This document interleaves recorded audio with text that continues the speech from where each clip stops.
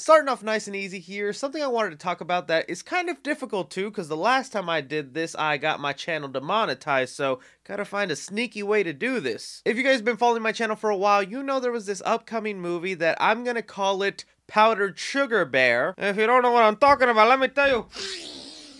Oh, the powdered sugar good. No, not good enough? Okay, there's a photo.